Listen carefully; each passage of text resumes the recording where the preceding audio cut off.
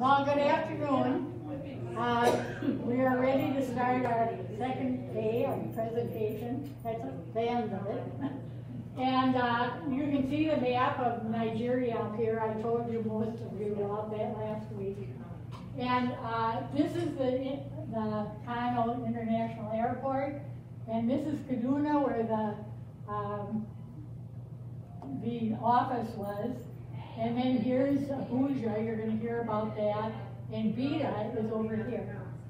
Uh, and I'm gonna tell you about some more parts of the country. Um, all right, I would like to just go back and uh, tell you a little bit about what how the last one ended, so that you can see why I jumped ahead about six or seven months. But in January 15, 1966, the coup took place. And this is when the army took over the government and uh, they killed all the political leaders. And the one that was the most significant was Ahmadu Bello, who was like the Pope and Queen Elizabeth in one person. And it made the Muslims very angry. So it was a horrible mistake. They didn't think it through. And then we jumped ahead to September 30th and 1966. And this is my daughter Lee going off to Beirut to school. She went to the American Community School in Beirut, which at that time was known as the Paris of the East. So it was a very beautiful city. And uh, then on October 1st, that was the next day after we took her to uh, the airport, uh, and we were on our way back to Kaduna to stay there for a couple of days and shop and things. And uh, that's when the massacre of the Igbo took place. They moved into everywhere, including the airport, the stores, the post offices, everywhere. They and they live. Uh, they worked everywhere because they were educated by the missionaries, and they were, you know, they were able to hold those jobs. And they just murdered them all, everyone they could catch. So we had to wait in Bida for I don't remember how many days it was, and we certainly didn't go out and take any pictures. Uh, we got caught in a couple of uh, police, when the police were using tear gas, but that was it. And um, the government really wanted the people to calm down. They didn't want all this killing taking place. So um, there was outstanding acts of bravery. And uh, one of them was our friend uh, when we got back to Bida. And uh, he was an Australian. So he was still there because of the British. And he um, took all the Igbos because Bida was a little bit late in acting he took all the Igbos and put them on a small island, and he stood in the, on the bridge with a pistol. That's all he had. There were no guns in Nigeria at that time. You never saw anybody with guns, only once in a while the um, army. And so he stood there and he said, you're going to have to kill me to get them. And they had spears machetes, uh, everything, you know, clubs, and they just waited it out, and um, he saved them. And then he hired trucks, and he took a list of all the people, all the Igbos, and he took chose men that he knew well and trusted, and he had them um, drive them back to the east to Biafra, what became Biafra, and he had them check off all the names that were there, and then they brought them back to him, and he saw to it that they were all saved. Um, now, I want you to go back to January 1966 here, and this is when Eid al-Fitr takes place. And this is uh, the Muslims uh, do a 40-day fast where they absolutely drink no water, no nothing and eat from sunup to sundown. And believe me, in that heat, uh, they are just in dire straits by evening. And at the end of that, they had this big celebration. And in Nigeria, it was called Eid al-Fitr. It isn't called exactly the same thing in every part of the world. And you can see here, the, uh, well, here we were invited.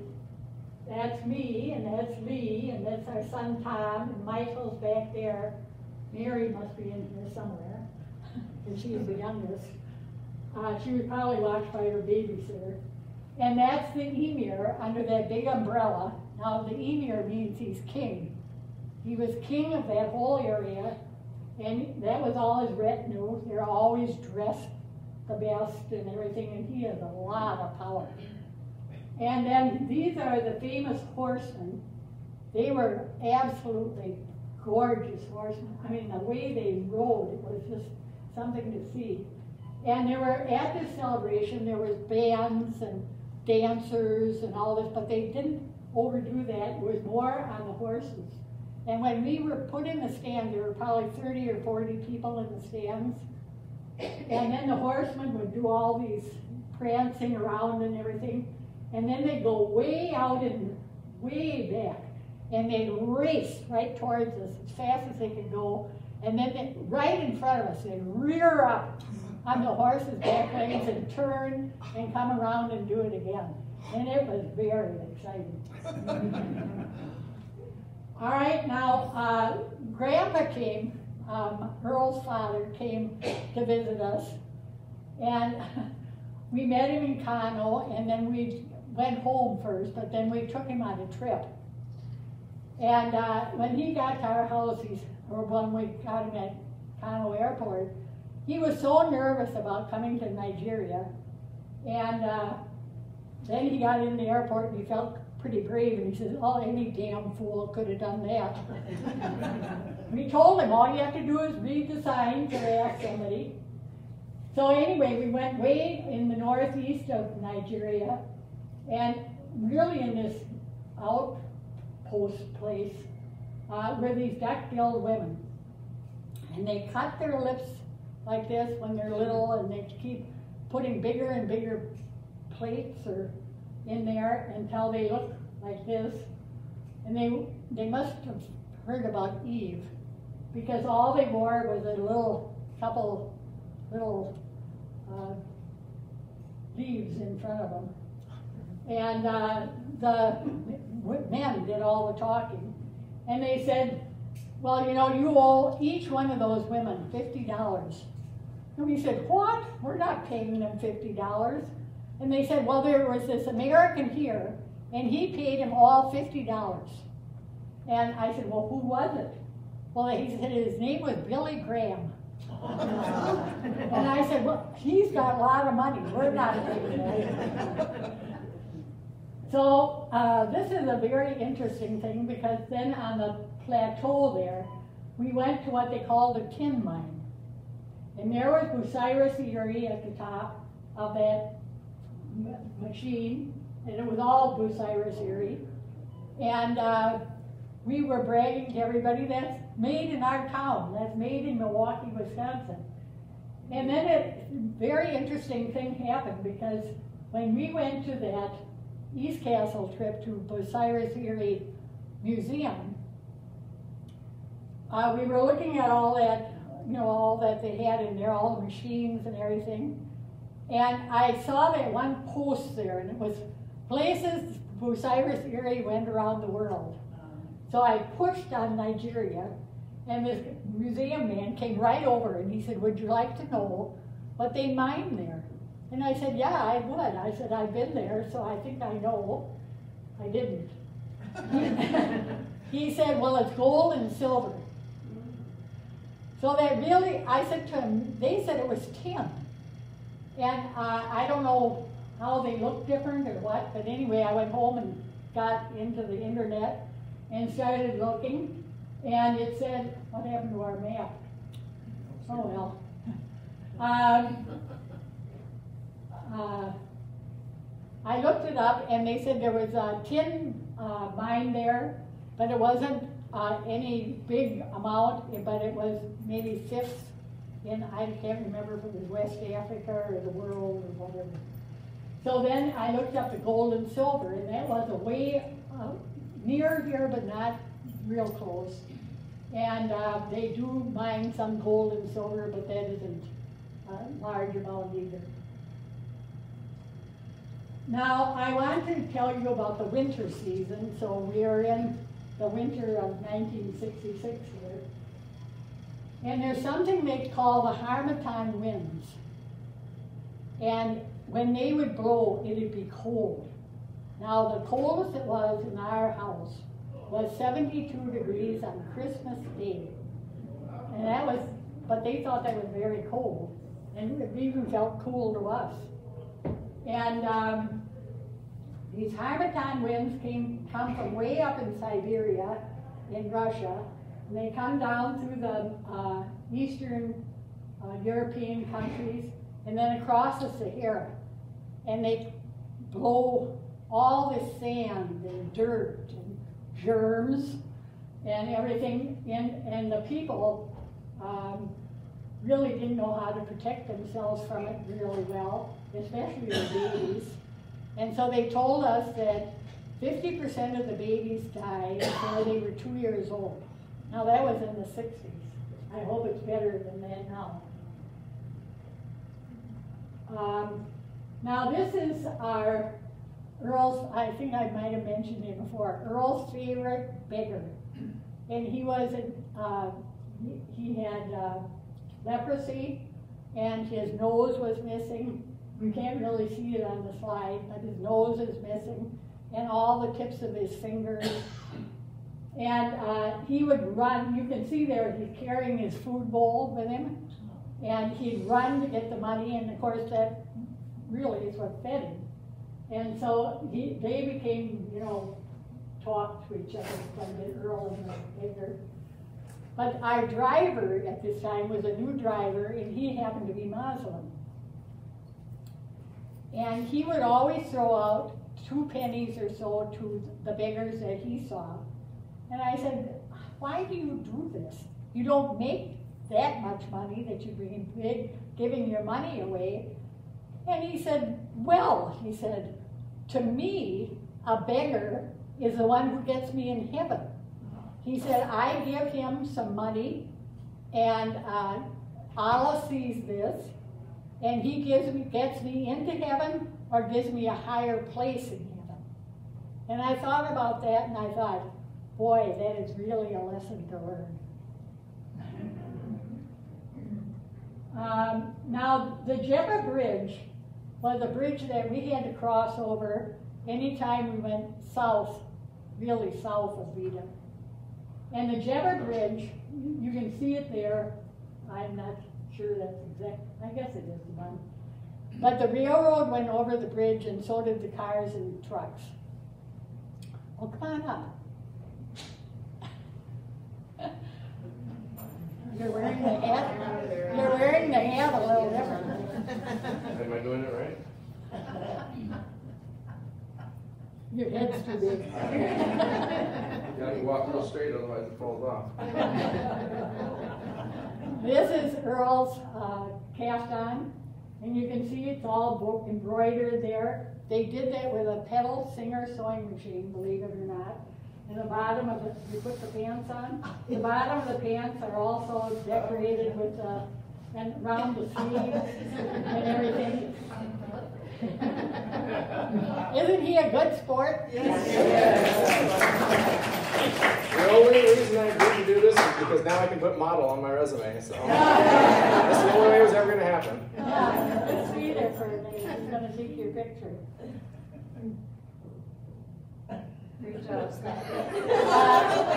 Uh, I couldn't find anybody this size. Lovely. This is, was our littlest daughter, Mary. This was her outfit, and I made it for her. And the boys had outfits too. And then it had this little blouse. And it's beautiful material. They have just beautiful material. I could never understand why it didn't come to this country. Uh, okay, the Jebba Bridge we were talking about. So when the railroad was coming through, we had to wait. And um, of course, the day that we were going to go uh, to the hospital, I got a whitlow, I never heard of a whitlow before, but I got a whitlow on my finger, and I, they couldn't fix it at our hospital, so I had to go down to, uh, which is on the map I think somewhere. Uh, let's see. Right there. What is a whitlow? I don't know, it's an infection. Oh, an infection, okay. And, uh, so anyway, I had to go down there to see the American, uh, doctor. And, um, of course, the, the railroad was just coming through the, uh, car. And, uh, Thomas, you know a little bit about him already. He was a little impatient, and so he pulled up, uh, and went all the way around this whole, I bet it was a block long. And he just went around him and went up to the front and thought he was gonna get, be the first through. Well, by that time, the army had killed off enough of each other, you know, they kept shooting each other. And, um, uh, the army was not in very good shape anymore. And the guard there at the front was dead drunk.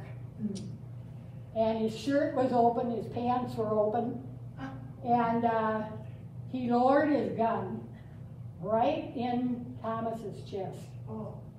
And he said, I, I didn't, Thomas said, he said, back up. I mean, he wasn't talking English. And he said, back up. Thomas started to argue with him. And Earl flew into action and he said, back up. You know, and because if he would have shot Thomas, it we were sitting, the kids and I were sitting in the back seat. We would have probably got hit too. So anyway, we backed up. And, um, that was a good thing. Well, now this is the increase in the military presence since all of this uh, killing and murder and commotion went on. And here you can see the soldiers here. That's a typical roadblock that we'd have to go through. They were always polite to us. We never had to do anything but have them look through our car. Um, and one of our friends was carrying a train set, no, a kid's train set that he'd gotten for Christmas or something. And the soldiers at the checkpoint here, well, not this one, but they were so excited to see that little train that they were playing with it and everything. And he said he had to go and they shut the trunk. And he went to the next place and they opened it up and there were three uh, machine guns in there.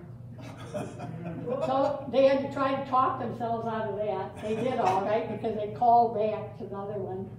And they said, oh yeah, we, we lost our guns. And then here's another sight that we'd see once in a while. Uh, soldiers driving around in an armored car or truck, whatever it is. Now, one of the things I want to tell you about is the Fulani. The Fulani were one of my favorite tribes. They were very friendly. They dressed like this. You can see this man's hair is braided, and then he has two, two safety pins to hold it in place around his ear. Uh, and, um, they, they were very good at, with knives, you know, short knives. And that's why they were considered the best, uh, watchmen, because they wouldn't hesitate to do anything. Uh, many of them lived in the Sahara Desert. They went in and out of the Sahara Desert. In other words, they were nomads. And um, they dressed very colorfully. And look at the girl, all the things that she has done. Now, one of the things they had to do when they were boys, when they were 16 years old, they had to go through the Sharo. I did not go because it was against the law, but they did it anyway. And they'd come in town and they go right to the main square, and um, the 16 year olds would then, you can see they put a stick across their back and then they put their arms over the top. So it made their back very taut. And then, and they were bigger to the waist up. And then that elder, more man, he was already, had gone through this, he'd whack him three times. And of course, it split their skin right open. Some of them actually, every once in a while, would die from it. But they still kept it up. And if they, if they did lose, they lost their girlfriend, they lost their pride, they lost everything. So they didn't dare cry out. Now, I told you that the government wanted peace. So the people were all on the, I mean, the authorities were on the lookout for any kind of problems that took place. And Aliu, of course, I told you he was a scoundrel, is our cook. And there he is in the wood kitchen, smiling. He didn't end up smiling. And uh, he, one day, he brought this woman. She was so gorgeous, you just can't imagine how beautiful she was. She could have been a model in the United States or the world, anywhere. She was just, she looked like, uh, is it Naomi Campbell? That's what you told me before, yeah. Yeah, she was just gorgeous. And so anyway, his friend was married to her, and he loaned her to Aliu. And so, um, of course, they, the friend was so insulted that he said they were gonna have a fight. And so they each gathered their sides, and they were gonna have this big brawl. And of course, it made a lot of noise. And, uh, and then some people that probably wanted, you know, a reward or something, uh, notified Mick Walters, the guy that stood on the, the, uh, bridge and saved all the Igbos, he was the county executive, and the emir. And the emir sped there to try to stop this fight, and when he got there, he said, this is about a woman? Throw him in jail. Then he found out that he was my cook. And he said, to- asked Meg Walters, he said, go and see if it's all right, if she miss, if I can put her cook in jail. And I said, absolutely, teach him a lesson. Well, the second day, we needed bread and all these other things cooked and everything. And I notified Mick, I said, get him back. So he let him out. But in order to get out, he had to go to Sharia court. Now, you heard about the Sharia court with the camera. Uh, this is, um, he was in the Sharia court, and the judge listened. Well, first of all, Earl went. I, I did, again, didn't. I wish I had. And he, the judge met him at the door and ushered him up to sit right next to him. And so he, he heard about what, what they had done, uh, this fight and everything. So he said, well, the punishment is thirteen pounds, which was about a little over thirty dollars in those days. They were still on English currency, or thirteen years in prison. Even nice choice, huh? So Earl paid it, and he said, okay, he's your slave for the rest of, all the time that you live here.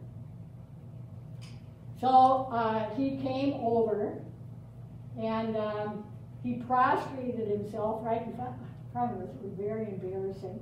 We told him to get up, and, um, I, we told him he's still gonna get paid, don't worry about that.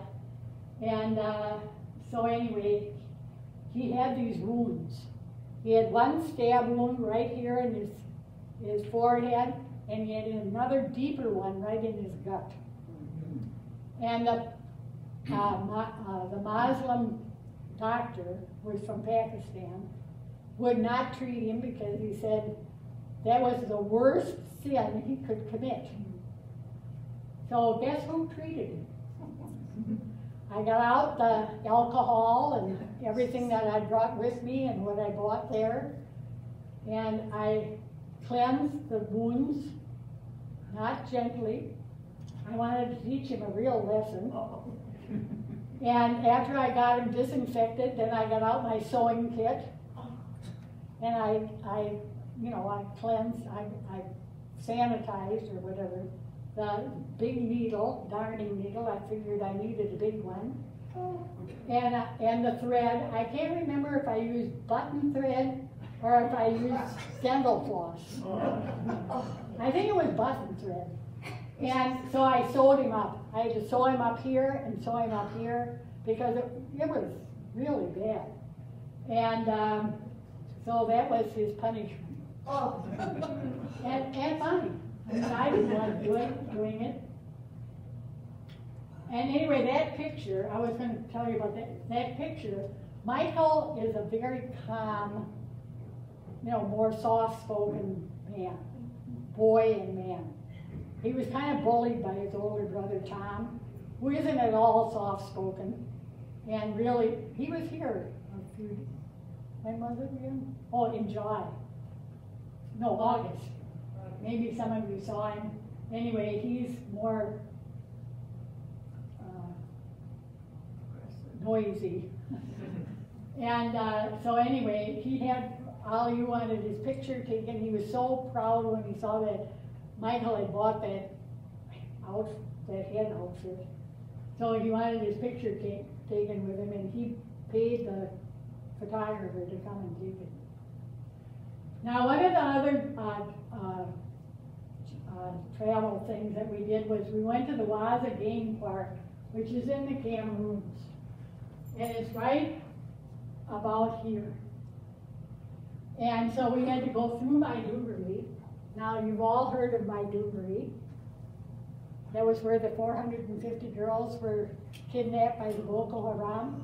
The Boko Haram was nowhere in sight then. There was no such thing. But anyway, we went through my Maiduguri and some of the other teachers from Wisconsin were at my Maiduguri. And so we visited them somewhat and we had taken, uh, we had a different car. It was a van kind of like. And, um, we took the picnic, uh, what do you call those things? Basket.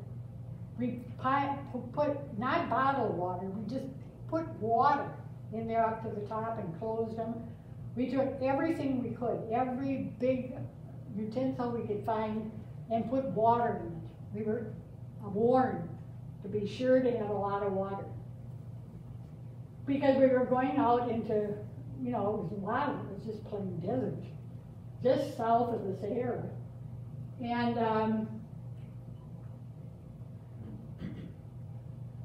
anyway, we, uh, we crossed over into the Cameroons and it wasn't that far. And our driver was a special driver because he'd been there before. And our directions to get to Waza was go along this dry tree, creek bed for I forget how many miles. And then when you get to the big tree, cross over the creek bed and turn right. That was the only directions we had. So we found it. I mean, the driver found it. And um, he, um, this is when we got there, that's the kind of a thing we stayed in, one of those little huts. It was very clean and nice.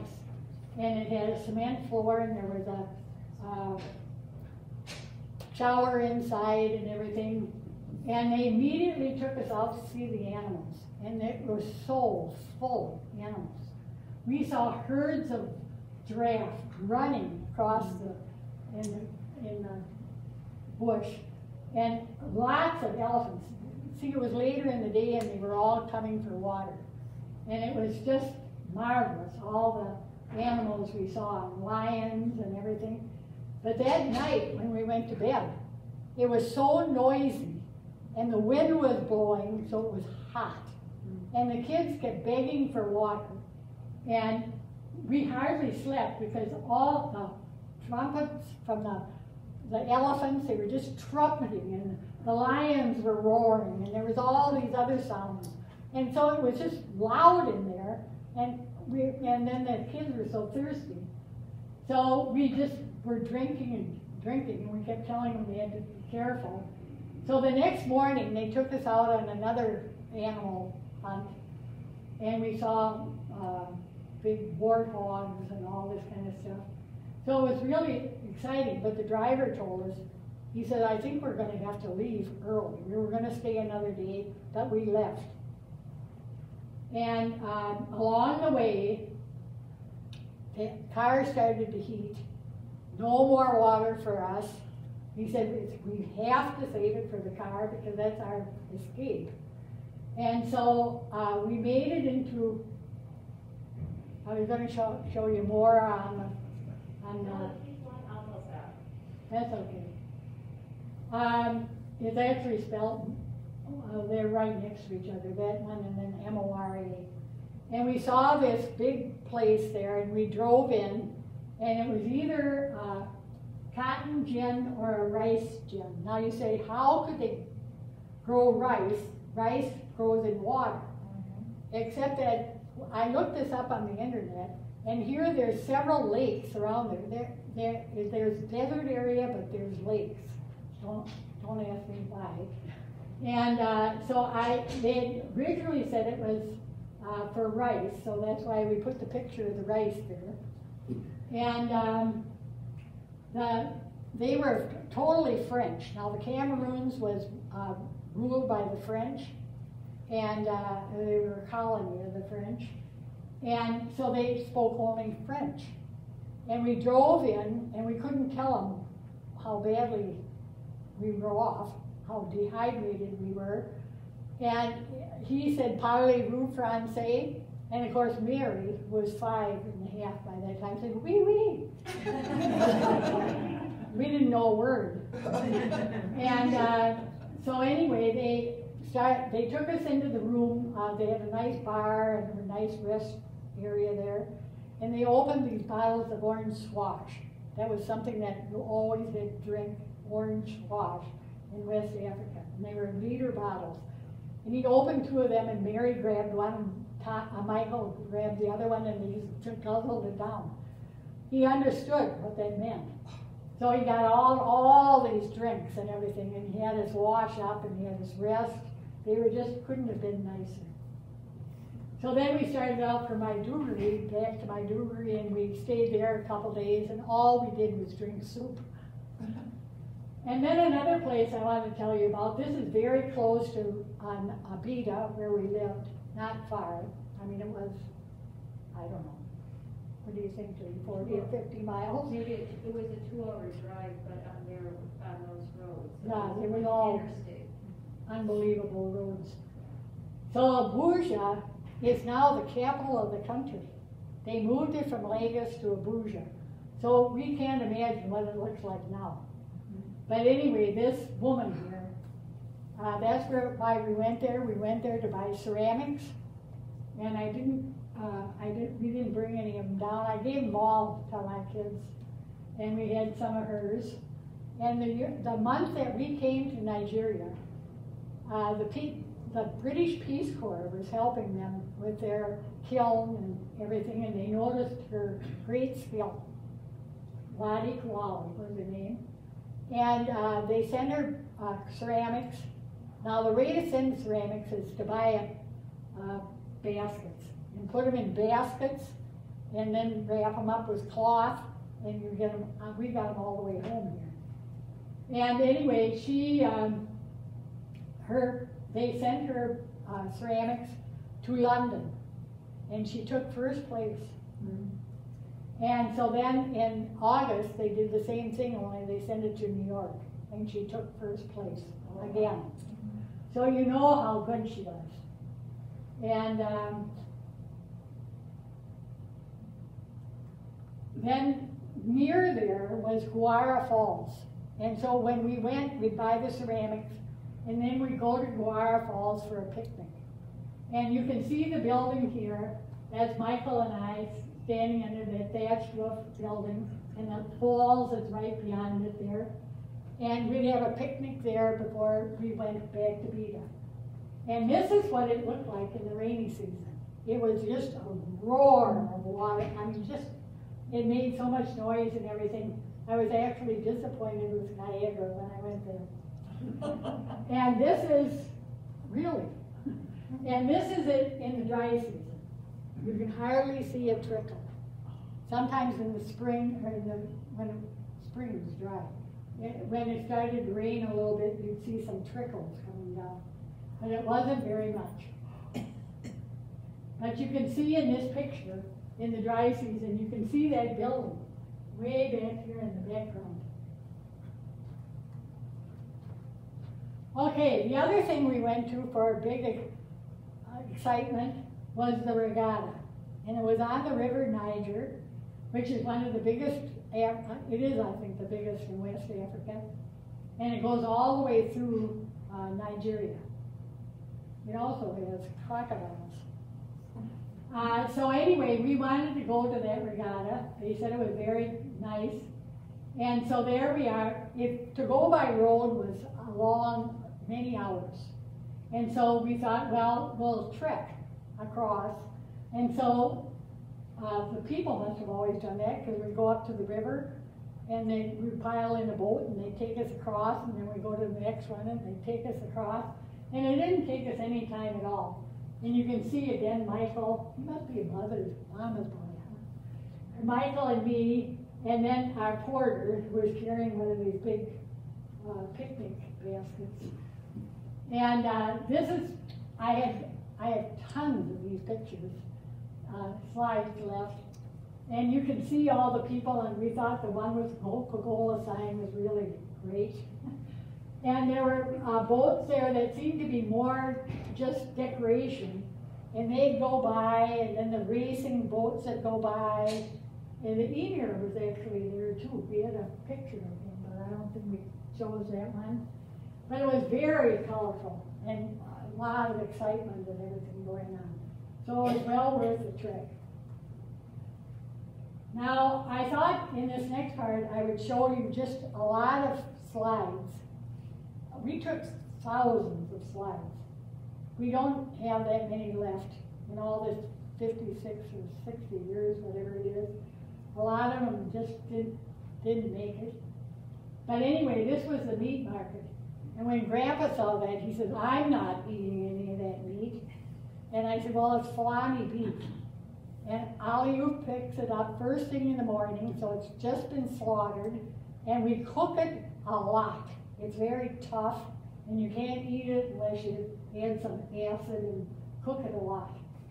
Acid, you know, vinegar, lemon juice or something. And so that was one scene I wanted to show you. And then this girl, she put things under her skin here to make that decoration. And she must have thought it looked great. Uh, here's the women sellers. They're at our house. I think that's you, Lee. Me and Mike. Tom was always off chasing snakes and stuff. So he isn't in a lot of these pictures. He's right there in the green shirt. But these uh, women came, they were probably carrying bread or something, and they came to our house. And then here we are at the filling station, Mike and Tom.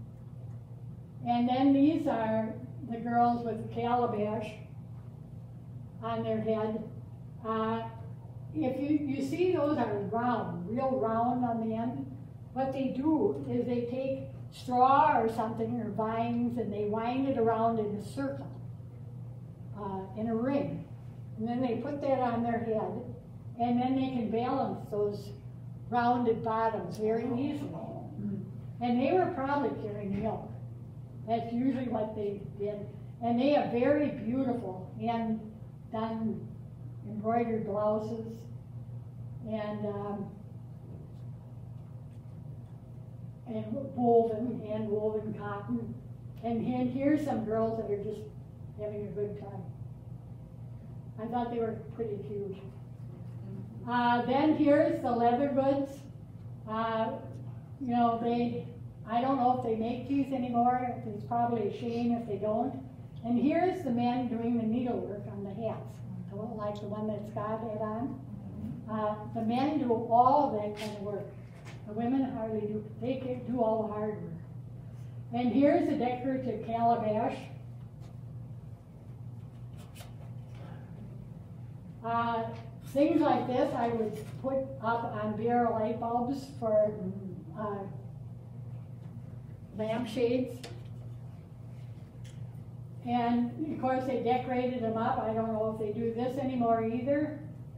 Uh, here I am holding a pot, and that's Lee with me, and one of the other wives of one of the teachers from Wisconsin.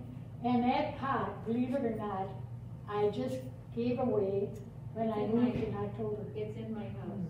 It's in your house? Daniel Good. took it, it's sitting on, in, Good. in his room. Uh, so then, um, here's a woman just, you know, selling more pottery. They had all kinds of different pottery for sale. And here's the weaver, a man. And they wove beautiful things like this. Gorgeous. And we, we asked them to make them and leave a place between, and then we cut them up for, uh, place, for placemats. And This is another one, I wanted to keep some that weren't cut. You can come up later and see them. Um, and then this is about Jimmy Jimmy Cheap Cheap. Now, Jimmy Jimmy used to go all the way to east to Kenya or somewhere, and then he'd come back across Africa, and he'd bring all these things for us to buy, and then he'd always lay out the cloth on the ground, and he'd always, and it'd be real cheap. And so we all, everybody started calling him Jimmy Jimmy Cheap Cheap, because he always said that, and he always said too, it'd be real silver. So we got it, and it was probably made out of toothpaste tubes. So we had a lot of fun with him, and he, he brought a lot of nice things. And then this is a picture of all musical instruments. These type here, I had some of those, I, one of them, did you take some? It's in Daniel's room, oh, the Okay. one right on the bottom. Okay, I had more than one. And what they do is they put those this way and squeeze them tight and then they hit them. And they can make them, they call them talking drums. And then, um, there's different drums there. I also had a house of piano that was about this big and it had strings pulled across and you could actually play a little music on it. And we had some flutes and horns and stuff. I don't know where all that went. I gave away a lot of it, the kids chose a lot and the grandkids, and I sent some to museums. Okay, this is something that we named, the women instead of hauling water and washing their clothes, they'd wash it in the stream. I thought that was pretty smart. And then they wrung it out and they brought it up and they just laid it out to dry. So we called that the laundromat and this the dryer. And the things dried, you know, in minutes. It was so hot. And besides, they laid it on the ground and that was hotter. So it worked very well. Now these are women carrying loads on their heads. And this woman happens to be carrying a baby too. You can see the baby there, hanging there. Now Nigeria has more twins than any country on earth. I don't think she has twins. Uh, but, uh, anyway, they're carrying the things and they're carrying it on their head.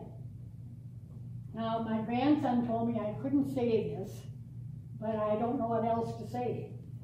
But these women, you can see, are of a different class, and they're carrying those heavy loads on the back of their neck. And they were all deformed from that, but the women did the hard work.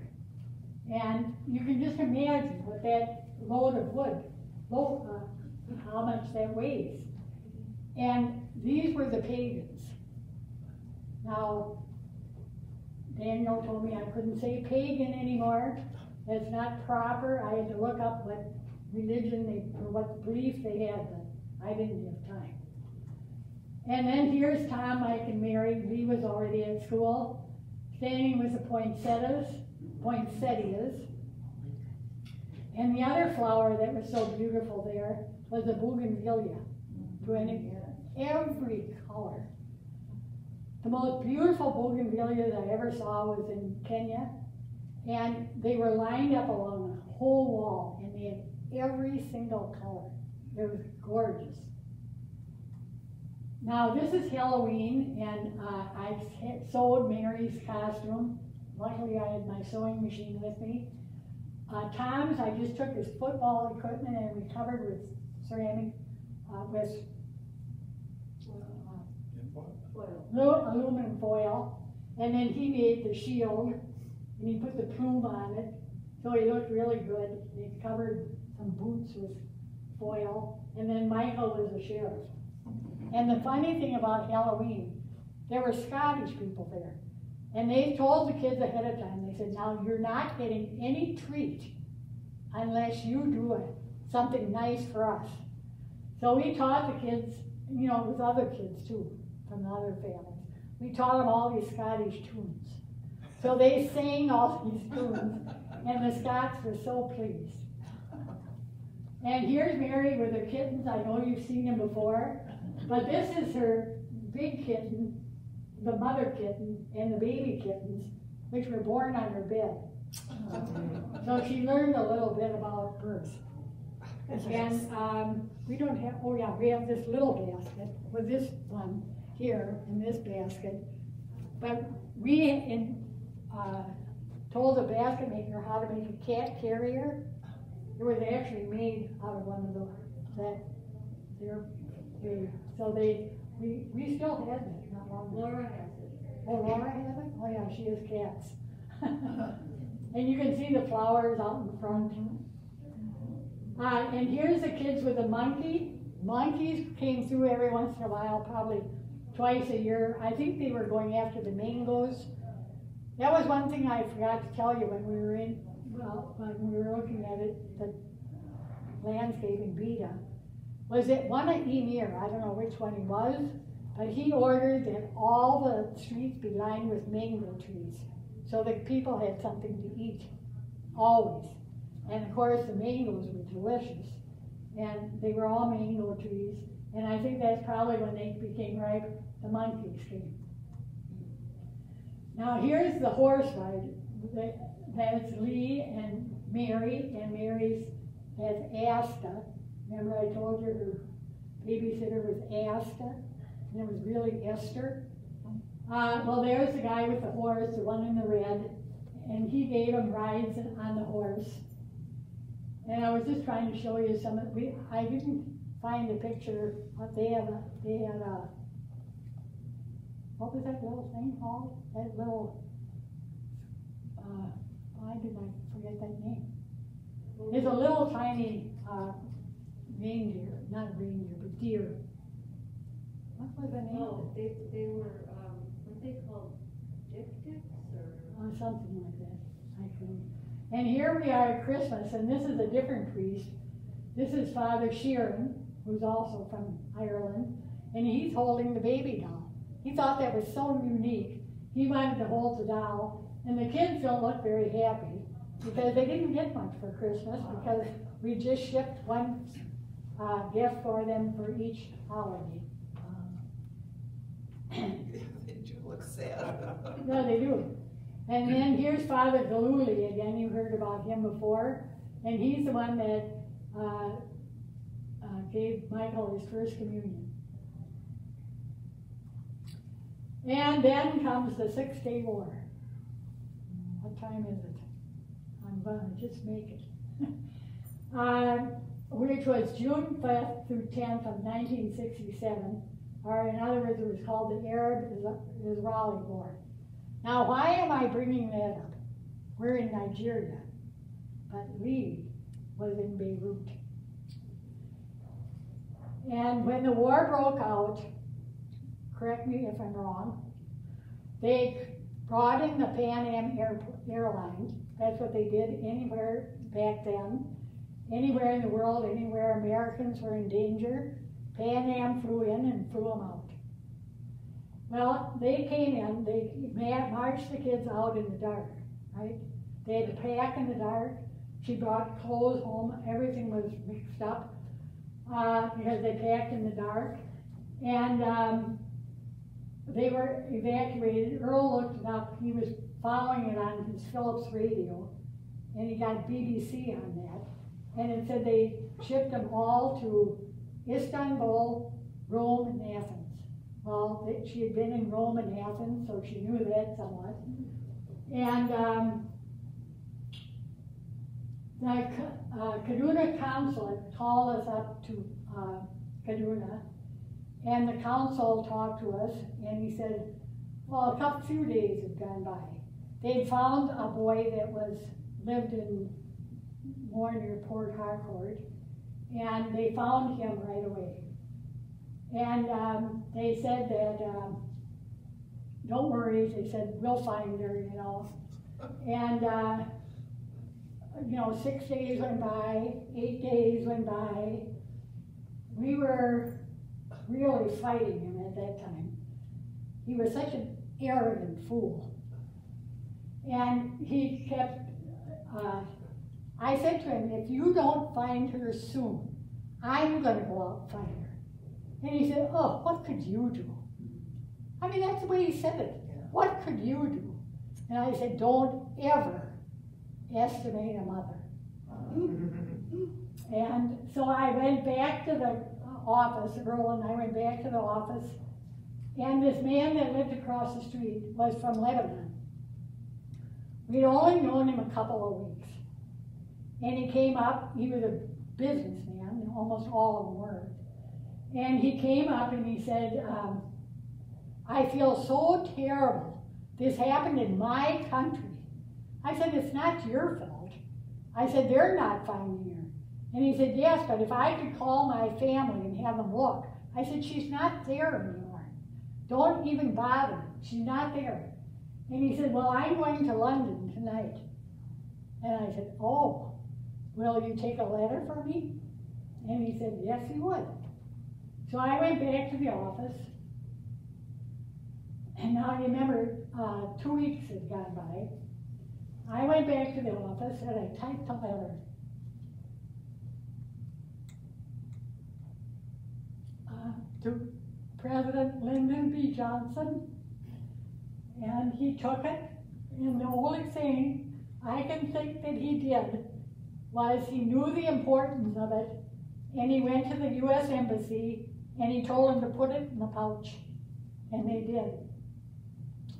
On the thirteenth day, Johnson had the letter. And I believe he did read the letter. He put Nicholas Katzenbach, who was assistant to Robert Kennedy, in charge. And he said, find this girl. Because I described everything in there. And I pleaded with him as a father of two daughters. And um, this man that had been coming into the hotel from the Athens uh, embassy uh, came up and said to her, What is your name? He'd been coming in every day to see her and didn't know her name. And uh, he said, uh, Oh, my heavens, I mean, you can tell more of it if you don't want to. And uh, he grabbed her and he took her to the embassy, of course, got her clothes and everything. And the Washington D.C. ordered her to be sent to my parents in La Crosse, Wisconsin. So they sent her to La Crosse, and the next day, the phone rang at eight o'clock in the morning. My mother, I can just see her picking the phone off the wall. She had a wall phone. And they said, the president wants to know if your daughter, granddaughter is safe. And we were so unbelievably surprised when we got home and everybody hated Johnson. Because we loved him. uh, and okay, that's it. Thank you for coming. If you have.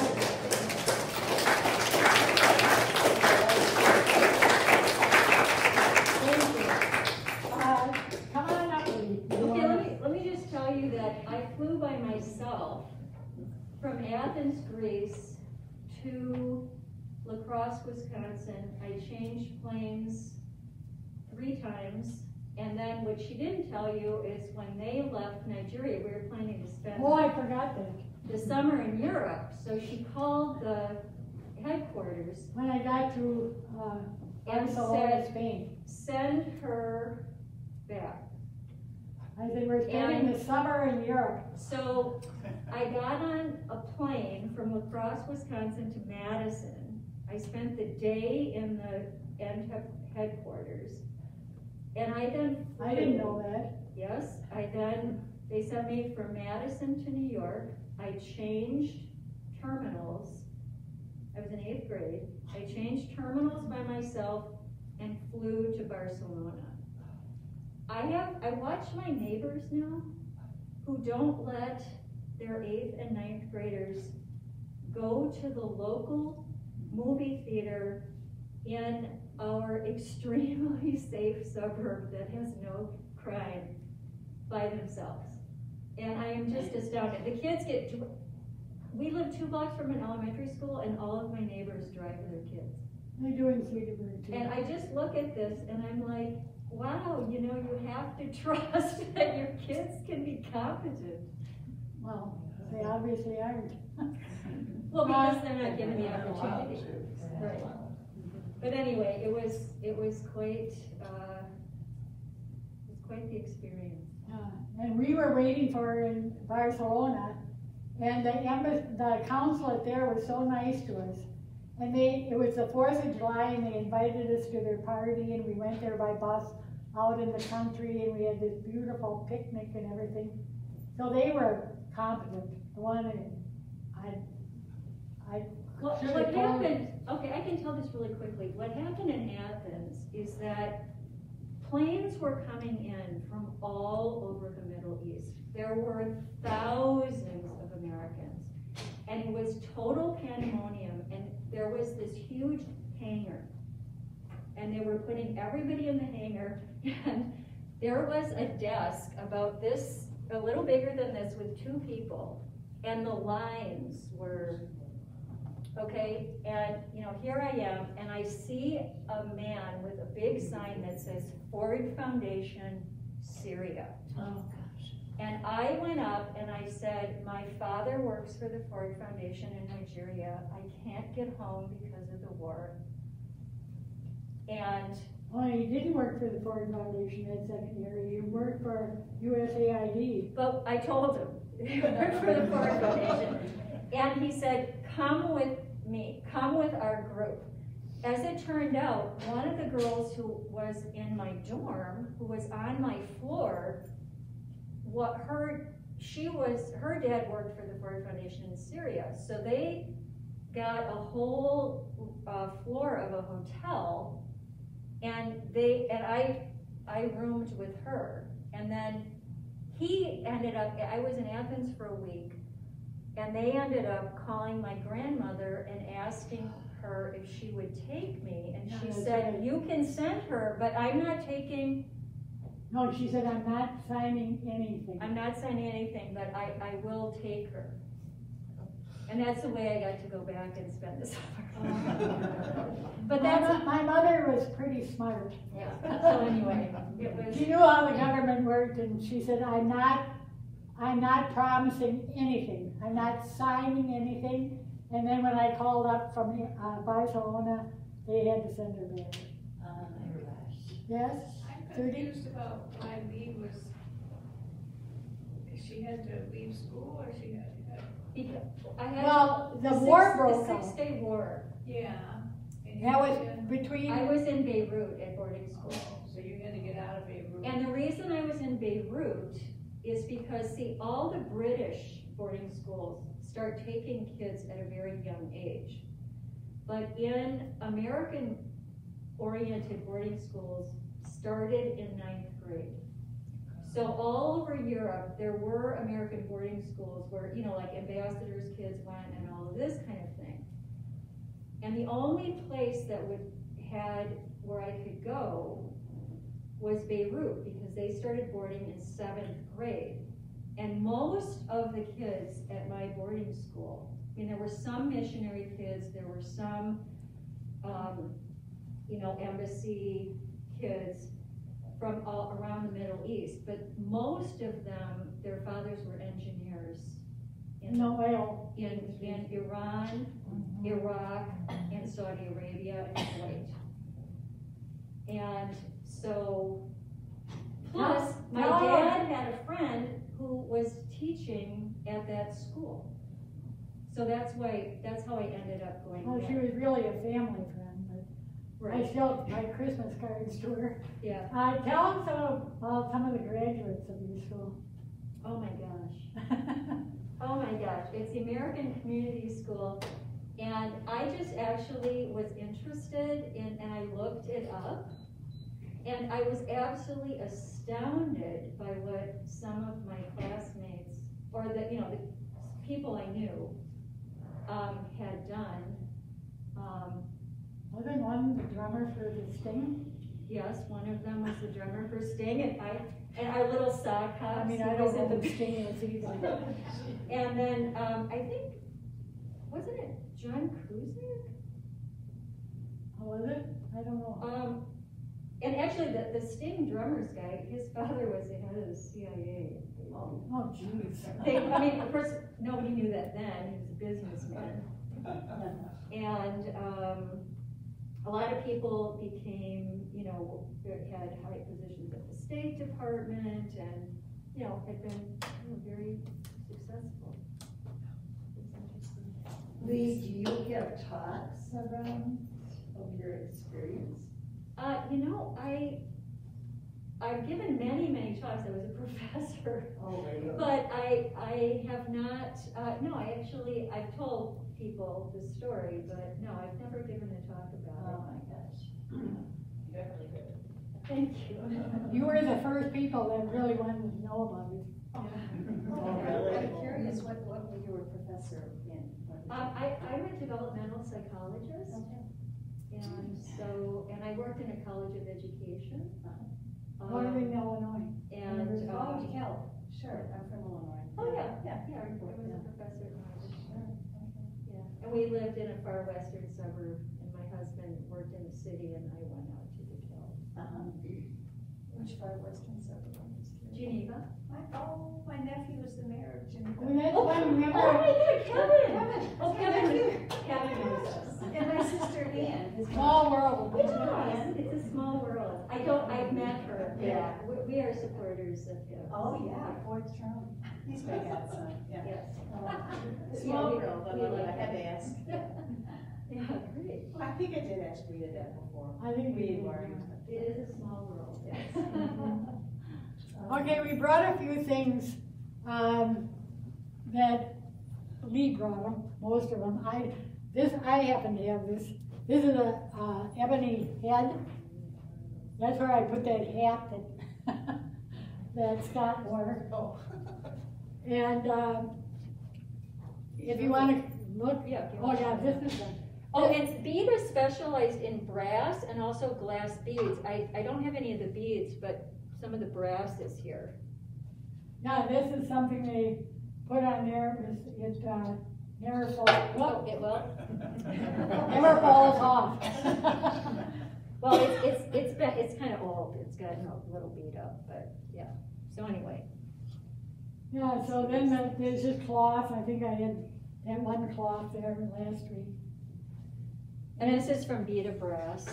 And if you're ever at UWM, I put some furniture there that made, uh, two, two small end tables and a, a coffee table, cause I couldn't put it in any museum, because the elephants that are holding up the top have ivory in their toes and in their tusks, and you cannot put any ivory in a US museum, Oh. so they got it. Where is that UWF? It's a, a uh, history section in The the African. African American. Yeah, okay, yeah. Yeah, Cool. it's in the office there. The chair came, we, I was at, up there, at, at our house, uh, to their house and picked it up. When she moved here. I mean, believe, getting rid of all this stuff was really a problem. I mean, our kids and our grandkids took our basement, I wish I'd kept a couple of those purses. I had per, Elizabeth and Grace took them all. oh, good. My grandchildren. They, one of them is made out of uh, leopard, and the other one is uh, elephant hide. No, crocodile hide. Crocodile. And then there's a python one. And then, oh, all right, it's python. No, not, they can't, not pythons, they cobras. They don't have py- pythons there. Cobra. Hmm.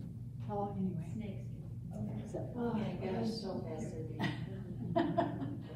That was an adventure. How long were you there? Two years. My husband was there just a, he said he'd leave because he was the last one there. The rest of their two years was up earlier, so he said he'd stay till the war started. And the war started and he got in the car and drove to Kano and took off. So that was it. Yeah, well. I understand that. Yeah. So, Really interesting. thank you, Thank you. Thank you. Thank you. thank you. Thank you, Lee. Oh, For being, I was, I was happy to be able to be here, I was sorry I couldn't be here last week. That's yours, isn't it? It is, yeah, thanks. I can't imagine how you survived